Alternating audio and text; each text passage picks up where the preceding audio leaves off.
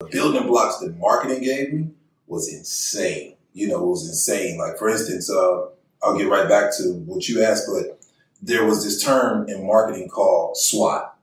And it's not uh, S-W-A-T, it's S-W-O-T. And I feel like that kind of structured my life in a big way because the definition is, is, is in marketing, if you know your SWOT, which is your strengths, your weaknesses, your opportunities and threats. If you put that, if you if you really and be honest with yourself, whether it's finances, whether it's your career, whatever it is, if you put that SWOT in front of you and say, hey, what are my strengths? What are my weaknesses? What are the opportunities and what are the threats? If you really drill those down, there's nothing that you can't achieve because now you know what your strengths are, so you push those up. Now you know what your weaknesses are. You need to fix those. Those opportunities, you need to go after them. Yeah. And the threats, you got to figure out why they threats. Because once you know something, when something's a threat, you got the answers. It's just like some people say, I'm not afraid of the dark, I'm afraid of what's in the dark. Mm-hmm. You see what I'm saying?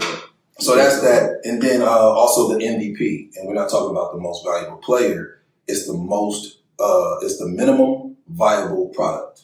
So many people got these big dreams of, you know, saying, oh, I want to have this huge company or I want to do this major feature film. And they never even get off ground one.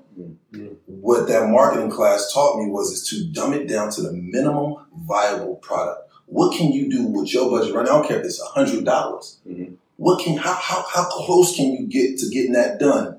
Just so you can get an eye on, okay, this worked, but how can I make that grow? And from that, you just start building. I don't care if you got this this crazy idea about a magical coffee cup. Okay, well, that magical coffee cup is going to cost you a million dollars to really get made. So what you do is you take that regular cup, go put a sticker on it, and tell people what it will be about. Now make sixty of those, go sit somewhere and get the people's ideas. Mm. What do you think about this? What do you think about this? Now you got numbers, and it's power in numbers, especially with the internet. Now you got a, a, a following to say hey, the people want this, and then you just start rolling. But if you're just so busy trying to get that magical coffee cup, yeah. you ain't gonna get a million dollars just by talking about a magical yeah. coffee cup. you know nah, nah, that's a fact, and I'm, I'm, glad you said that because it all intertwines, right? Mm-hmm. It all intertwines when we talk about entertainment, entrepreneurship, business, and that's kind of the beauty of the podcast is that everything, if you really are aware of you can really maximize your potential if you understand the business behind it, right? Absolutely. So, like what you just broke down with the SWOT, that was dope. I never actually heard anybody yeah. say that before. That's, so, that's a if you think about it, it makes a lot of sense, yeah. right? Like, so, all right. So now, as far as being an actor, right? Because we know that a lot of people aspire to be an actor, right. but they don't understand the financial side. I kind of compare it to being an athlete. People always say, like, how do athletes go broke, right? But they don't know that they might only get paid two times a month. They don't know that by they, they play in a different state and they, they pay state taxes in each state that they play in, that there's fees that come out. There's a lot of things that go into it. It's not as, oh, I got $50 million, right? Like Absolutely. you might not even see a quarter of that because it's not guaranteed. It's, it's so much stuff, right? So acting is, is kind of similar where people, you know, they look at actors like, oh, everybody's blowing out of control, but there's a lot of financial things that go into being an actor that people don't, don't understand, right? Absolutely. You just talk about Absolutely. some of those. Well, like first and foremost, one of the things I'd say again is it was a big shock. Like nobody out here had jobs. Yeah. Like here I am. I come from Oakland, so I, I started out working at Home Depot. You know what I mean? And all my friends that were actors, they just never went to work. I'm like, well, why am I the only one going to work? Back, I, I hated it. They'd be at pool parties, they'd be chilling oh man, it was it was it was a rough time for me. It was a rough one because I just didn't understand it. And you know, and there's so many different hustles and side hustles. There's so many things to distract you from the craft, and that's why I'm glad that I stayed with my guns and stayed working and always hustled. And you know, as I got older, I started to appreciate what working really done for me and you know my life. But what people don't understand in the whole acting game is is they confuse it. People are they they people are saying, "Oh, being a struggling actor, that's what it is," and all stuff. No, I think people are totally wrong about that. You don't have to be a struggling actor. You need to find a path. You need to feed the need. And I don't want to sound funny, but I've always used this analogy, which may be a bad one, mm-hmm. but a crackhead is going to do whatever that person needs to do to get crack. They will steal from their mama. They will rob a car. They don't care. It's so deep invested in them. They're going to do whatever to do to get the crack, which is terrible. It's a terrible thing. But when you love acting as much as those people need that drug, Yeah. you do whatever you got to do to feed the need. People want if you're starving, you can't be starving and going to an audition and not seem desperate. You just can't. Yeah, and that, that, was like one of the things I think last year when uh, Geoffrey Owens and whoever's not familiar with that was the gentleman from the Cosby Show. Right. When they saw him working at the supermarket, people were like, "Oh my gosh, look what he's doing!" But he's like, "No, I'm in between kids right now. This is a real life Yeah. grind." Absolutely. And like that's why I said. One of the things that, that you made evidence, like, yo, I work at Home. I, I did these jobs. Yes. Says, yeah, I'm in between kids, but I got to hustle. And I think people overlook that. They want the glam. It's Hollywood. I want to be famous. And it's like, nah, there's a grind. Like that's you earn that leisure, right? Absolutely, absolutely. And, and what what happens in the in the uh, in the in between, call it that purgatory state. You know, purgatory is you know between heaven and hell. Yeah. What happens is is that people get lost. People really get lost because they want the fame, they want the money, and, and I don't want to be like I've always been, Mister uh, Goody Two Shoes, because I wanted all that at a time too. Yeah. But all it did was make me feel like less of a man, less of a person, less of an actor because um, I forget who told me, but they said the uh, no, it's actually uh, in the Bible, but I'm not super you know reli- religious. But it said the sheep that stray furthest away from the shepherd are the ones that get attacked by the wolves first, Mm. something like that. But it's true because the shepherd the shepherd's there to protect them. Mhm. You know what I mean? You stay close to it, then you're good. But same thing with the game. Like if you stay close to it and all you're doing is acting class, working out, trying to do plays, watching plays, you don't see that glitz and glam world. So it doesn't affect you. Like you're in this bubble because all you want to do is act, but people don't do that. Yeah. They start to get to LA and you start to see these things and it's such a distraction. And when that happens, financially you start to feel crippled. You're like, here I am working at this damn Starbucks or working whatever just so I can go to auditions. For what? I'm wasting my life. I'm wasting my time. But that's because they start looking outside instead of inside. Because if you would have just kept your little apartment, stayed focused, stayed grinding, stayed patient, then you would have been good. Finances don't come into it then Yeah. because you're following a dream. That's true. Like it, it's tr- like you'll see who has a passion, who's fight chasing their purpose. Yeah, Right? absolutely. Like you, like just hearing you talk about it, it's like you can hear the purpose. Like this is what I was meant to do. Whereas people who don't, it's like all right, they're gonna fizzle out right? Absolutely. because it's like I'm just doing this because I want to be known. Yeah, and then one of the big, one of the bigger things, just to just to piggyback on what, what you were saying earlier, I came in and I had uh, I had natural talent. I, I was naturally talented from like the energy and whatever, but skill and talent are two different things. Absolutely. Two different things. Right. So I was naturally talented, and I booked. I had like I booked like four commercials in one year. There was a Dr Pepper, which I shot with LL Cool J. That was crazy because that was the last commercial that Run DMC had done together before he died. Jay. Right. Yeah. That was the last one. It was a Dr. Pepper joint, so that ran like crazy, Yeah. which had me paid.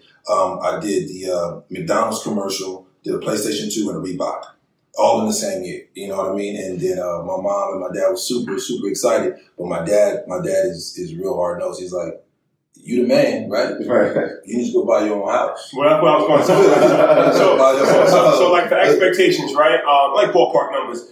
How much would a, a commercial pay? How much would be in a, a, a extra? Because I, I see like even like rappers and stuff. I've seen like interviews where they're, they're like in movies, but I think I forgot who Cam'ron. Cam'ron did paid in full, and he said he got five thousand dollars for it. And if you think I'm like paid in full, that's a Classic. at least in the hood, right? Yeah, Yeah, yeah, yeah. classic at least. But it's like I would I would thought he got paid more than five thousand dollars. He was the lead actor movie. Nah, nah. Well, you got you got to understand the business of acting. Like when you when you start out, whenever you see somebody that's on, you got to know that that for a year and a half, I don't care the stuff you see, Mhm. they weren't getting paid like that. You're getting paid at a quote. That's why when you got a good agent or a good manager, they you whatever you made that last TV show, Yeah. that's what they get to go off of. And if the if the movie or the TV show is big enough, you'll knock that quote down. You know what I mean? If, if my quote right now is at ten thousand dollars an episode, but a show like This Is Us or The Marvelous Miss Maisel said, "Well, we'll, we'll take them, but we can only maybe do five grand." Mm. I'm gonna do it because because it they know it'll catapult my career to the next level. they got a huge audience. Absolutely. So when you see these people that you don't know, you see them on the shows or whatever. No, no. And you know who does make money like that? When you see people like Flo. That Flo is is is the face of progressive. Mm. That is a contract. Yeah, That is a contract. Yeah, she never, you know, Yeah. that is a contract. But when you see, like, even when you see me, like, on, like, say, from a SWAT, I've, I've done damn near four shows in like less than four months. It's been a great year. But each of those, all it did was piggyback off the quotes, off the quotes, off the quotes. And now I'm at a point where it's like, okay, give me while I'm cheap. Mm. You better do it because I know where I'm gonna go. And even if that doesn't pop the way I need it to pop, is why I start writing and the producing. To the next yeah, thing. you know what I'm saying? Because you got to control your destiny. You got to control your fate. And the bad part about it is, is that as African Americans, we have uh, we've been dumbed down to believe that we can't do a lot of things that we can. Because all, all movie movies are is telling stories, Yeah.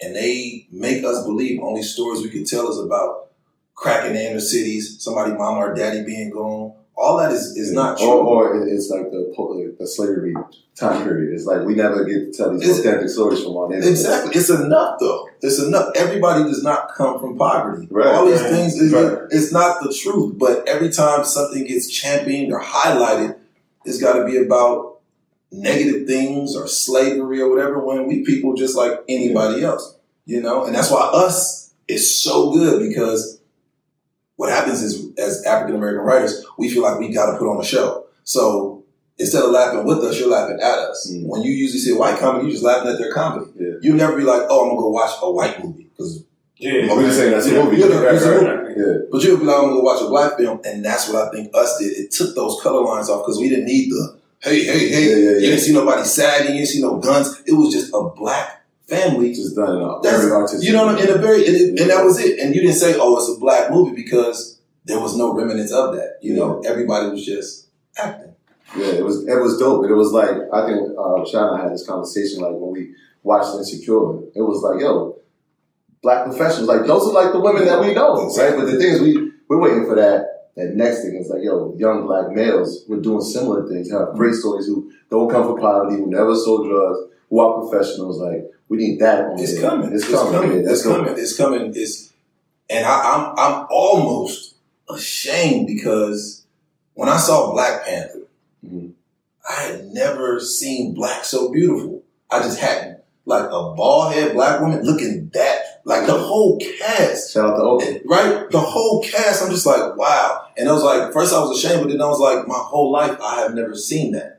My whole life I had never seen black as beautiful on that level. We talking about superheroes. Yeah. The whole time you're seeing Superman, Batman, all these other That's people, which yeah. is cool. I'm not hating on it, but to see it and me be this old and have to take a breath, like, wow.